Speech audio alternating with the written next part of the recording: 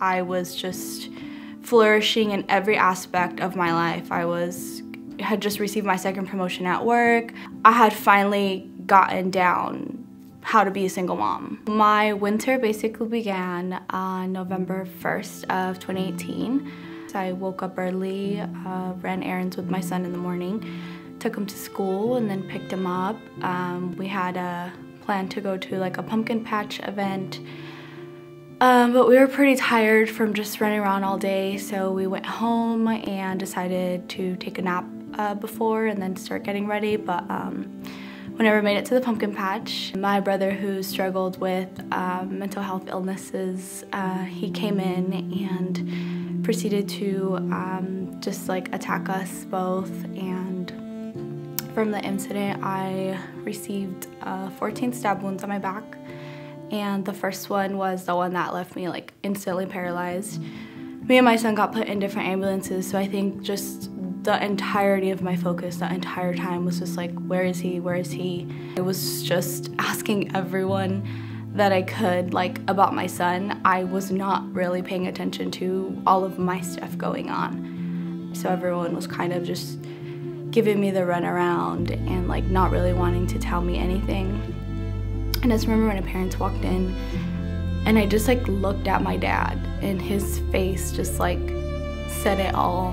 My son didn't make it. And I just remember like that scream that like people let out in the movies, like it's real. I don't know what it was, but I just couldn't contain like that pain. So I think it's just the way it comes out.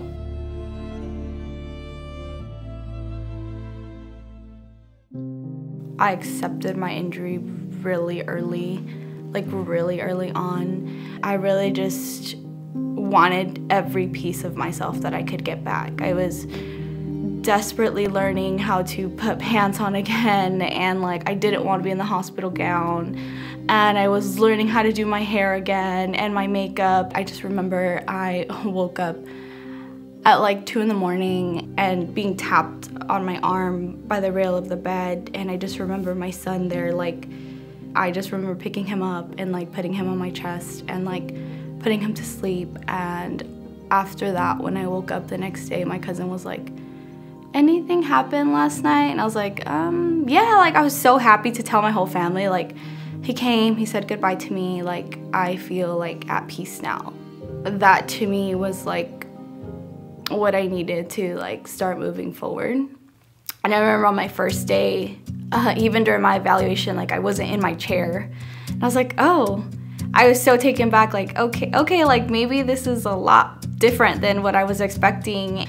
I think for sure Be Perfect is, yes, therapy, but it's so much more, at least for me, like I just think it's like a weekly reset of not only my body but like just my person in general. It's just amazing to like be able to get out of my chair once a week and feel my body actually not fight me for the next couple days.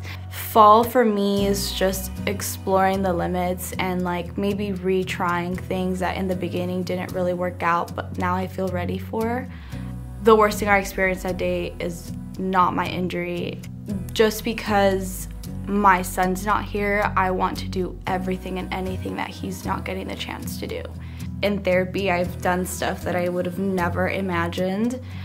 From the beginning, I couldn't move a muscle, couldn't move anything from, you know, the waist down for the first couple months, and now I'm like fully standing on my own and taking my first couple steps. Uh, so I think that's like super amazing. Uh, but I do try not to focus on that journey because I feel like walking or not, like I'm still gonna have a great life. So to all the Be Perfect donors, I would just like to say like thank you so much. And I know thank you falls short of the gratification I feel because I feel like there's no bigger word than thank you. It has just given me my life back 1000% just in the personal and in the physical and the emotional mental like every aspect of my life be perfect has changed and I couldn't see myself here without them. So I know that sometimes it seems like a small thing, but it's really doing life-changing work out here for sure.